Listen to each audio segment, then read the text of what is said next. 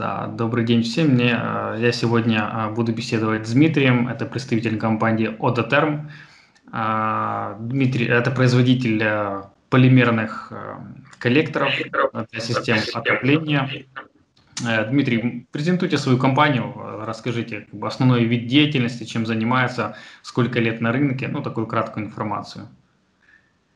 Ну, э, для начала здравствуйте всем, спасибо за интервью. Эм, ну, что сказать о Ондотем? Ондотем уже как почти 40 лет на, на рынке, э, который производит э, коллекторы из полимер, полимера. Извиняюсь, что сложновато немножко.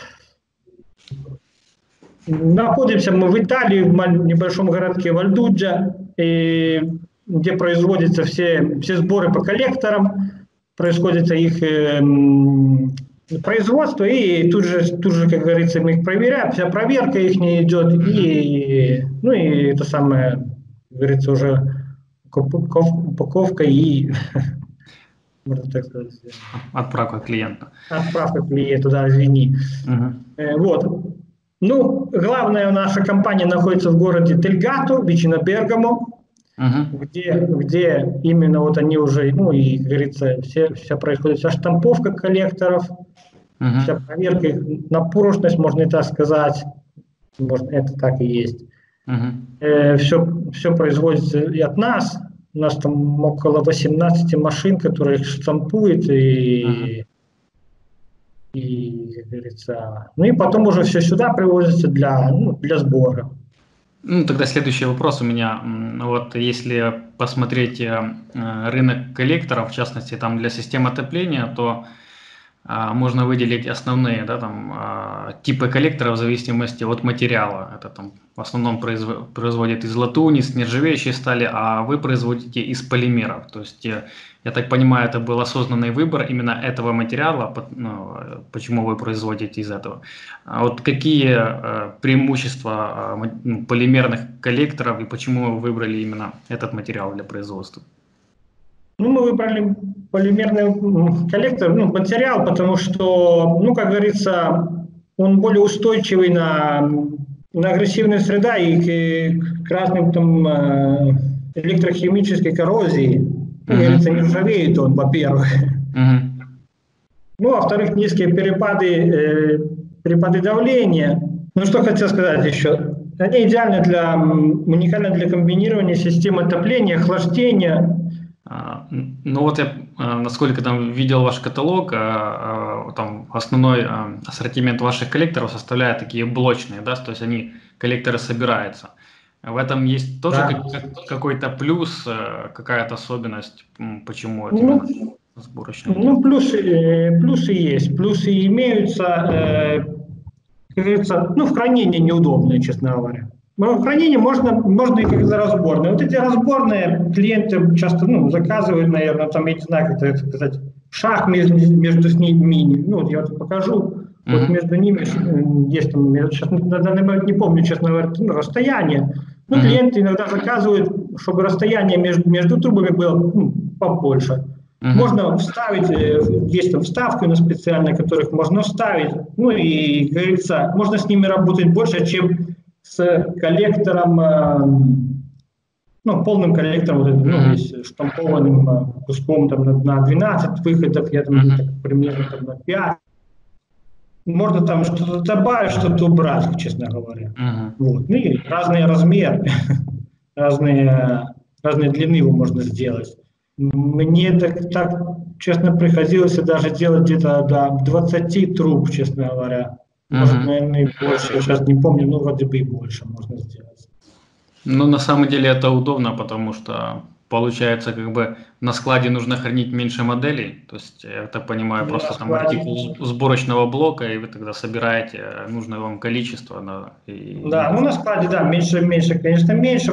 Не, нет такого, как говорится, ну там где-то подписали, что там на, на, на 2 выхода, там где-то на 10 выходов. Mm. Тут все в одном месте лежит, все подписано, что, ну, чему и куда, как говорится, и, ну, и взял и собрал. Uh-huh. Ну, вы поставляете клиентам э, как и отдельными блоками, так и полностью собранные э, коллекторы, или как, или мы, только отдельно? Не, ну не, мы поставляем как отдельно, как и собрано. Ну, это уже как по заказу клиента. Угу. Да, ну, всякие там аксессуары, можно так сказать, если клиент закажет. А вот еще у вас есть э, в каталоге, я видел разные типы коллекторов, например, для, ну, для систем отопления, то есть стандартно там для теплого пола, а еще есть для геотермальной системы. Вот, чем они отличаются конструктивно или, может быть, материалом? Ну, геотермальные, геотермальные мы делаем из материала XF, я не знаю, если знаете такой материал. Не совсем, это ну, полимер какой-то. Ну, это полимер, он немного более устойчивый, более крепкий, чем RA66 вроде бы называется. Mm-hmm. Да, RA66. Ну, получается, на четвертой дюйме это двух дюймов они, uh-huh. у, них, у них получается уход. И, ну и что сказать, они более устойчивые к, к, как говорится, холоду, теплу, uh-huh. потому что как они часто, часто и всегда их ставят ну, где-то на улице, в каких-то там колодцах. И, вот. Можно также к ним э, по заказу у нас имеются э, там изолировать их, как бы утеплить uh-huh. их, вот именно что не, не, там не как-то там как было дело, наблюдал какими-то тряпками за, за, за, запахнуть, чтобы это самое, это там, боятся, что замерзнут. Но они не замерзают, пока не замерзнут, надо уже там. Э, при какой минимальной температуре их можно использовать? Там, минус 10, минус 20 или еще меньше? Даже меньше, мне я, да, меньше 20 можно использовать. Угу. А, понятно. У меня такой следующий вопрос э, насчет материала. Вот вы сказали, что для э, геотермальных используется материал XF, а для стандартных, э, получается, как я видел в каталоге, это PAS 777. А, вот я видел другие производители, там KLF и еще другие, там RBM используют PA66. Вот какая разница между этими материалами? Или это близко похоже? Ну, PA66 и PAS PAS777, ну, они, как говорится, материалы похожие, как устойчивость, но не похожие очень, там разница у них совсем маленькая. Ну, практически их так, ну, назвали ну, этот, получается, материал вы еще туда добавляете какой-то усилитель или нет, там, а, например, там для армировки пластика или нет, или это просто полимер? Нет, есть, да, мы добавляем для армировки вот это вот стекловолокно вроде бы называется по-русски. Вот, извини, иногда забываю, как это по-русски. Вот, вроде бы это стекловолокно называется. Ну да, для армирования добавляем стекловолокно. Вот. А, я понял. А вот что касается коллекторов для теплого пола, а, ну они комплектуются расходомерами. А вы тоже их сами производите или как-то отдельно закупаете? Ну, расходомеры, некоторые расходомеры мы закупаем на у нас надежные поставщики в мире, можно так сказать. Ну и некоторые расходомеры мы сами их э, делаем. Вот у нас имеются расходомеры от э, 2 литров до 42.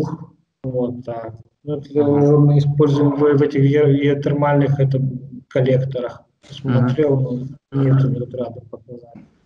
Вот э, вопрос я часто вот, э, где-то на форумах инсталляторов-монтажников встречаю, что бывает проблема, когда э, коллектора размещают вверх ногами, и расходомер получается вверх ногами. А и, играет роль э, на саму работу самого расходомера? Э, как-то негативно, позитивно или вообще не играет роль?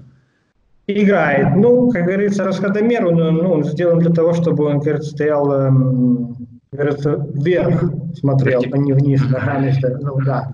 Ну, потому что, э, во-первых, э, как бы, если его перевернешь, ну, не будет он правильно работать. Uh-huh. Э, ну, поэтому у нас есть, как говорится, мы там придумали, там начинает, ну, делаем э, расходомер, который возможно вниз головой, можно так сказать. Ну, на данный момент еще это, говорится, нету в продукции, но скоро будет, надеюсь, весне, по идее, если так. Вот. Ну а насчет э, перевернуть э, да, данные, вот это вот нас имеется часто, часто, часто. Было, было мне такое, я встречал, что, говорится, для отопления потолочного uh-huh. часто, говорится, в потолке оставляют небольшое там, ну, помещение, где поставить этот самый коллектор. Ну и коллектор обычно он там, ну, лежит, это самое, говорится, горизонтально, ну и что делают с расходомером? Что их делают? Обычно их открывают полностью, ну и оставляют их так. Ну и я сказал, кто, кто уже никто их не, там, не контролирует, они там лежат и лежат себе. Тепло, тепло тоже не, не, не батарея где-то под окном или теплый пол, ты слышишь, что там где-то прохладнее, там где-то ну, потолок уже по-другому как-то так чувствуется. Вот. Но для этого, чтобы уже подрегулировать, э, имеются такие, как э, без расходомеров, э, как это называется, не помню. А, Flormatic Chairing, извини, забыл название. Flormatic Chairing. Ну, он тут типа такого вот. Он без расходомера ты регулируешь, ну, получается, сверху есть плюс-минус, а вот сбоку получается единички, ну и для регулировки. Почти как работает, почти как расходомер, но не показывает, но нет у него такой шкалы, как говорится. Ну, понятное дело. Я понял. Ну, настройка производится похоже, просто не показывает э, ну, результат, грубо говоря. Настройка похожа, но не показывает результат. Да. Ну, там уже, как говорится, надо так регулировать. Угу. У меня такой вопрос. Вот э, если вы поставляете клиенту, например, э, ну, в разобранном виде коллектор, и он сам его собирает, есть ли какая-то вероятность, что он соберет его неправильно, и он там потечет? И даете ли вы гарантии на сборку, которую производит там монтажник или сам клиент? На, насчет сборки мы в таком случае не даем гарантии. Даем гарантии только на, наши, на наш продукт, что он, ну, как говорится, тестирован. Угу. Вот. Ну а насчет гарантии, что он не будет течь, ну, может, клиент может быть, как говорится, и какую-то там эту самую подкладочку не положить, он потечет. Uh-huh это уже не, не наша вина, uh-huh. говорится, вот. Но насчет этого гарантии нельзя много давать. Ну а так, да, если мы продаем, э, говорится, даем клиенту наш собранный э, коллектор, то, конечно, гарантия имеется. Как протестированы на, на устойчивость и все, потому что у нас просто именно есть кто занимается именно вот этим, тестируют все коллекторы, которые выходят из нашей ага. с нашей компанией. Вот. А большую часть э, ну, вы продаете клиентов в уже собранном виде или разобранном все-таки? Большую часть мы продаем в собранном. Продаем в собранном э, виде, вот как по вот, типа в таком виде, либо вот в другом виде, ну, в, в, в этих самых ну, блоках. Либо клиент часто просит э, уже им продать, именно чтобы они были, как говорится, на, на, на, на их на крепежах, uh-huh. стояли на крепежах, и часто тоже просят, тоже, чтобы уже поставили в шкафчик, ну, шкафчик, вот их, их не шкафчики, вроде бы так называются они, но, uh-huh. чтобы уже и коллектор поставили, и насос, и, ну, и все, чтобы уже только пришли, поста- прикрутили шкафчики, и трубы, и трубки поставили. И uh-huh. такое часто просят. Uh-huh. Вот. Ну, обычно, да, большая часть продукта, который, продукции, которая выходит, они выходят из э, из нашей компании они выходят э, ну, как бы отдельно. Вот э, коллекторы обычно ну, собраны, но без, конечно, в коробке найдете все крепежи, все, что надо, все аксессуары, которые идут в коллектор, но обычно они так. Вот, вот это отдельно. Да. У меня такой еще вопрос. Вот, а, а, ну, много лет назад, когда только там полимерные коллекторы появились, некоторые производители а, пробовали делать ну, полностью полимерные коллекторы даже с пластиковой резьбой. Но на пластиковую резьбу необходимо там, делать определенные там, пределы, есть усилия до закручивания, чтобы там, пластиковая резьба не треснула. И потому именно там в Украине особо у монтажников и инсталляторов нет особого доверия к пластиковым коллекторам, потому что там была раньше пластиковая резьба, они там много наматывали льна, там пакли и, и шли там трещины. А, у вас, я так понимаю, а, резьба везде там металлическая на коллекторах, правильно? Ну да, резьба у нас везде. И из латуни, вот я сейчас тебе еще раз покажу, вот как uh-huh. видишь, тут наблюдаешь. Если они да, латуневые. Да. Ну, было дело, первые коллекторы попробовали их сделать, как говорится, ну, с пластиковым, мы их сразу убрали, потому как, ну, нашли вот, это вот эту проблему с, с, с, с резьбой пластиковой, что она, говорится, не держала в конечном итоге, потому как mm-hmm. надо было кто-то там специальным ключом закручивать, чтобы не, не это самое не, mm-hmm. не затянуть сильно, потому что, говорится, или лопались, или прокручивались, а, ну, кто-то там уже рассказывали старые сантехники, дело были, кто-то там клеем где-то клеили, что-то там, ну, уже придумали, что могли. Тут тоже такое горе было. Вот. Ну и, ну и в конечном итоге их сразу убрали с рынка, и отсюда их очень-очень мало вышло. И это самое первое, когда делали. Ну и сразу начали делать из латуневого. Uh-huh. У нас, конечно, имеется там несколько образцов из эм, именно коллектор из, э, как говорится, из э, нержавеющей стали. Uh-huh. Тоже есть, имеется пара. Ну, так, по заказам мы их э, даем. Ну, а так все из нас из пластмассы, как говорят, грубо говоря. Ну, на самом деле... Поли, полимера. Да, на самом деле пластмасс это такое э, более э, не сильно профессиональное слово, потому что... Ну, не сильно, да, даже говорится полимер полимера, ну, а люди привыкли все, все, все обзывать пластмассой. Ну да, привыкли, но как бы полимер от полимера, они все разные, имеются разные характеристики, поэтому как бы и есть вот смысл информировать людей, потому что там пластик это там полиамид это одно, полипропилен это другое, и у всех разные характеристики, и там и области применения даже там и использования другие. Ну да. Да. А, у меня вот вопрос, а, насколько я понимаю, что вы больше работаете как э, ну, производитель для, для других клиентов, то есть э, как бы свой бренд, э, ну, вы больше продаете там для других компаний под их брендами, правильно я понимаю? Да, да, это верно. Мы продаем для других компаний под их брендами. Ну и наше что-то выходит, ну, говорится, обычно мы не ставим наше, uh-huh. наше имя. Ну, обычно, да, мы продаем э, на большие европейские, на наши клиенты, которые мы имеем, не это ну, большой европейский рынок, продают большой, на всем европейском рынке, ну и я думаю, в России тоже есть, потому как uh-huh. поставки были. Если не секрет, э, какие можете назвать там несколько компаний?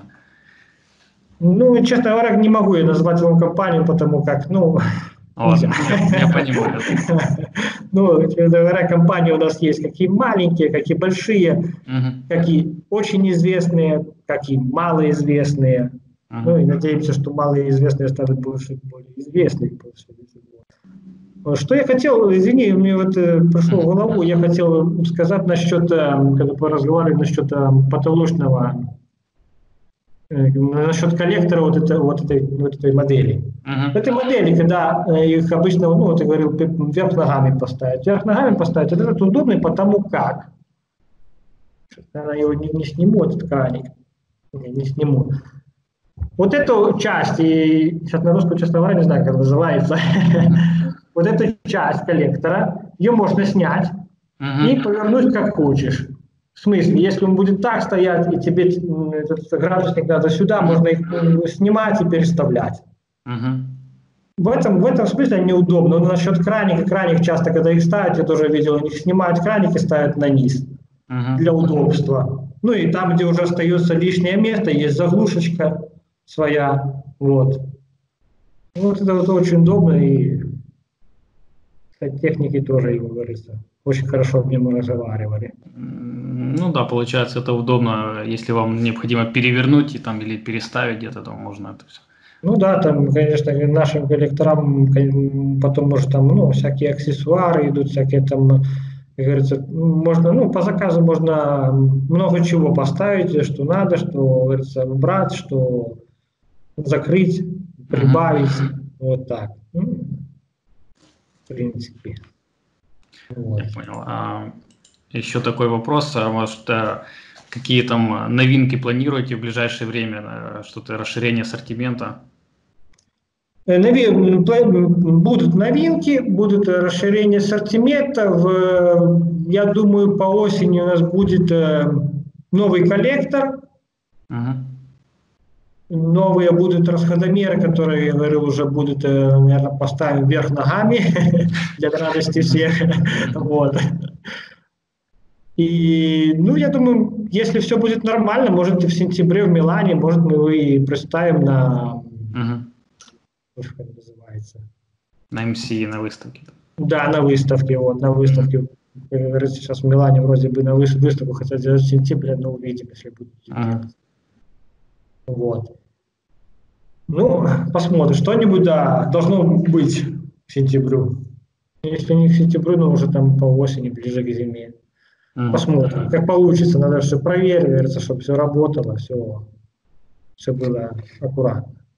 А насколько быстро а, ну вот если э, брать разработку новых продуктов, сколько занимает времени вот, э, разработка от, от самой идеи до выхода уже там с производственной линии? Ну, это зависит, э, как говорится, зависит, конечно, сразу же все идет с идеи, потом уже идея, надо это все, говорится, обдумать, надо это все проверить. Ну, может, может даже быть и год, как говорится, может, может меньше, но это в зависимости от того, что надо, на, что делается на данный момент. Э, я не знаю, как говорится, как говорится, у нас вот мы, раз, мы разговаривали на днях, э, там клиент попросил сделать коллектору, поставить э, как бы, чтобы вот эта вот первая часть, она получается, так вот не на этот коллектор, а другой. Другие коллекторы у нас есть нет, мало чего. Ага. Чтобы вот эта вот часть была вся вместе, получается, вот это и вот это было все вместе. Ага. И потом уже пошел, начинался коллекторный, коллекторный блок из полимера. Ага. Он хотел вот это вот из латуни, получается. Ну. И, и он должен был, был быть немножко, вот эта вот, вот эта секция должна быть, которая на данный момент их две, одна из латуни, одна из полимера, они должны были, должны стать ну, почти половину этого. Угу. Ну, мы так посмотрели, можно сделать, в принципе. Надо проверить, можно сделать. Ну, там же, кажется, ну, и уже расход другой будет, в смысле, и, там, уже и денежный, ну, и надо, ну, надо посмотреть. Сделать можно. Ну, надо уже проверить, надо все, ну, клиенту, если понравится, то обычно, знаешь, сделали, сделали, то, может, клиенту цена не нравится. Ну, понятно. Здесь как бы финансовая сторона всегда да, очень финансовая, важна. Очень важна, да. Да, он тоже там просил, ну, и это самый краник уже встроенный, не пластмассовый, из латуни, который у нас имеется, это, ну, чтобы поворачивался. Ну, там надо смотреть, надо пробовать, надо сделать, смотреть, конечно, чтобы это замать. Ну, не стоило это потом больше, чем ну, ну, надо, это стандартный наш, можно так сказать, э, коллектор. Uh-huh. Ну, тогда запросов бывает много, там кто-то у кого-то один вопрос, у кого-то другой запрос. Ну, бывает. Ну, некоторые запросы, честно говоря, просто нет, потому что это так нереально, можно так сказать, uh-huh. Сделать. Ну, а которые некоторые, интересные, которые, как говорится, клиенты часто, часто помогают в этом, в этом плане для, для нового, новых образцов коллекторов, что так Ну. Говорится, клиент запрос делает, мы смотрим, если получается, мы, говорится, ему продадим, ну и, говорится, и другим э, представим, что имеется новый образец. Вот. Я понял. А, ну вот вы, э, ваше основное производство это получается литье, ну, литье пластика, то есть э, вы льете там корпуса полимерных да. коллекторов. А, планируете вообще в будущем производить другие какие-то э, элементы для системы отопления, там, может, воздухоотводчики, там, подрывные клапана, тоже с пластика? Потому что я знаю, что некоторые производители это делают, или там корпуса, там, термоголовок, я не знаю, что-то еще такого, то есть расширять вообще в другом направлении. Ну, пока так сильно, сильно, сильно разговор не шел об этом. Ну, что-то было, разговаривали, ну, ну будет видно. Не знаю, на данный момент мы пока будем ну, стоять на коллекторах, как говорится, ну и потому что, говорится, идеи есть и новые, как и наши, как я уже говорил, клиенты надо запрос делают, тоже идею подхватываешь, ну и стараешься что-то сделать и новенькое, говорится, для рынка, потому что рынок на месте не стоит, uh-huh. ну и нам тоже с рынком надо вперед двигаться. Вот.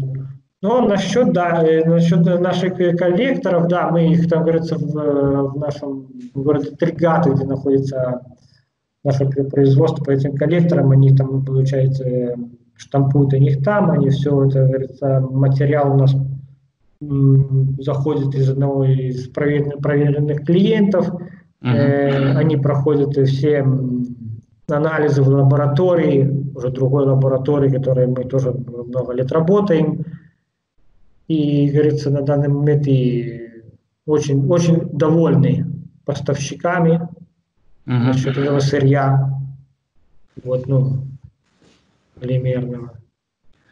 А, у меня еще такой вопрос. Вот э, есть э, ну, не проблема, а так, такой недостаток э, всех полимеров, да, может большинства полимеров, так э, кислородная диффузия. То есть а, когда воздух через толщину стенки проходит э, в середину там, системы. А, есть ли защита ваших коллекторов от э, данного момента? Есть, может, это стекловолокно спасает или что-то другой момент? Или все-таки... Да, Нет, стекловолокно, стекловолокно спасает очень. Стекловолокно, как, как мы добавляется стекловолокно, оно очень помогает. Конечно, есть немножко утечка вот этого вот э, кислорода. Она очень маленькая, но она присутствует. Ага. Грустно об этом говорить, но она присутствует. Я понял. Вот. Но это в рамках каких-то стандартов или ну, вы проводите тесты именно по кислородной диффузии или нет? Проводим мы тесты по диффузии кислорода, и, и как говорится, есть. Есть небольшая, очень маленькая, но она имеется. Mm-hmm. Ну, говорится, ну, что делать. Ну, я понимаю. Есть. Пока, пока мы еще не дошли до такого пика, чтобы вот ноль есть ноль. Ну, нет mm-hmm. нуля пока. Надеюсь, что будет в будущем. А может быть, это как там больше добавить стекло, стекло, стекловолокна или другой пластик? То есть не, не проводили какие-то опыты в этом плане, чтобы минимизировать э, кислородную диффузию? Не, ну были мы уже там, наверное, были анализы, но пробовали делать, пробовали, говорится, добавлять больше стекловолокна, но ну, так, как-то так, э, я сейчас на данный момент не могу четко, почему, ну, почему не, нельзя добавлять больше или меньше. Ну, есть везде свой предел, можно так mm-hmm. сказать. Вот. Ну и пока на данный момент, э, ну, конечно, есть этот сам материал, который мы используем очень из этой IPSF, э, который мы используем очень, который он более устойчивый, uh-huh. полимерно, более, более устойчивый на, кисло, на кислород и на окружающую среду. Uh-huh. Не замерзает не так, как э, старые наши коллектора, которые делают один раз. Uh-huh. Ну, говорится, Пытаемся, пытаемся сделать чем лучше, тем... Угу. Но этот материал, получается, дороже немного, да? Ну да, он там не, немножко он дороже, но что поделаешь. Ну, есть я к тому, что ну, есть свои плюсы, там, и, ну, пусть есть он дороже, но есть за что переплачивать, потому что есть свои Ну, конечно. Ну, конечно. Кто-то мне говорил, я сейчас на данный момент, честно говоря, это самое насчет э, сам, сам я их не устанавливал, коллекторы, часто техника, я так ну, именно не занимался. Сам я их не устанавливал. Ну, э, честно говоря, когда занимался строительством, э, ребята говорили, что, говорится, ну, из полимера этот коллектор, ну, полегче как-то так, ну, некоторые вот эти вот, которые у нас имеются, штампованные, они с, которые называются, извини, сейчас посмотрю, а, ну вот типа вот коллектор мульти, мультикал. Вот мы разговаривали насчет вот этого коллектора, говорили, ну они как-то так, ну, их э, в руку возьмешь, повернешь и так, он говорит, э, если шкафчик даже маленький, пространства мало, ну, в стене получается, его поставишь, он, он тоненький, он туда поставишь, он удобный, легкий. Uh-huh. Говорится, даже если часто бывало, говорится, на объектах бываешь, ну, падают вещи с рук. У людей uh-huh. не, не крепкие, они сами по себе, потому что не разбиваются. Конечно, может там как-то упасть, я не знаю, там именно головка этого самого расходомера может там удар, ну, может и лопнуться, но замена самая, небольшая, небольшая цена его заменить расходомер, ерунда стоит. Угу. Надеюсь, в России. Ну, в любом случае дешевле, чем э, полностью коллектора менять. В любом случае дешевле. Да и вот так у нас тоже на сборке бывало, там, наверное, даже в руки возьмешь, и, говорится, бывает, скользнет, упадет, бывает, лопается. Сам коллектор никогда не ломается. Ну, бывает расходомеры, либо там какое-то крепление, когда обычно их ну, на, на креплении два у тебя стоит, бывает, бывает падает, бывает крепление, он поломается. Ну, потому что на землю на пол упадет, твердый, не трава под ногами, конечно же. Ломается. Ну, ломаешь, ломается. Но они все равно крепкие крепления сами по себе, не это самое. Uh-huh. Не простой, говорится, пластмасс. Ну, понятно. Э, я понял. Ну, я думаю, на этом все. Спасибо за, э, за ответы, за, за информацию, э, за то, что уделили время мне. Да. Надеюсь, Спасибо что... вам, Евгений. Да, что жел... хотелось бы пожелать, чтобы ваш бизнес рос, да, популярность полимерных коллекторов была больше, потому что есть свои определенные плюсы этих продуктов. И я думаю, что а, чем дальше, тем больше люди будут узнавать, пробовать, да, и применять их э, там в своих ну, да, домах. Скажем так, что полимерные коллекторы не стоят немножко больше, чем эти латунные или, или нержавеющие стали. Ну, ну и другой принцип работы, другой. Ну, немножко они, как так говорится, по характеристикам, они, можно сказать, такие лучше.